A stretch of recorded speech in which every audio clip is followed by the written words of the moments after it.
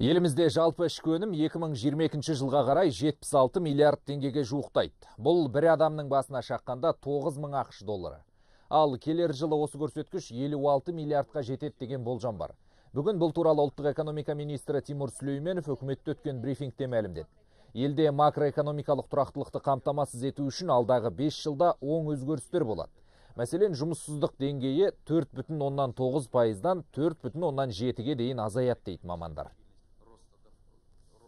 В 2018 году также э, закладывается достаточно 2018 жылы жақсы көрсеткіштер болады деген болжам бар. Мұнайдың бағасы бір барреліне 45 доллар деп бекіттік. Ал ұлттық валюта бағамы 340 теңгеден аспауы тиіс. Бірақ бұл белгілі бір бюджеттік параметрлерді есептеуге арналған бағам екенін ескеру керек.